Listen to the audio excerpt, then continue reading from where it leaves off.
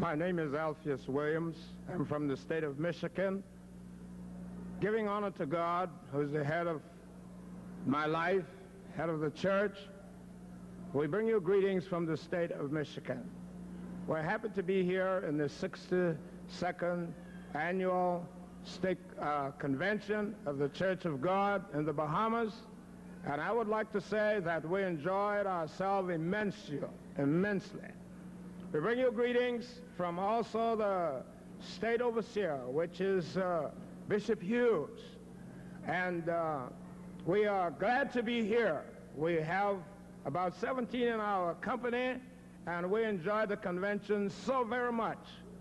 I don't know how you feel, but the convention has really built an unquenchable fire in my bosom that would never go out.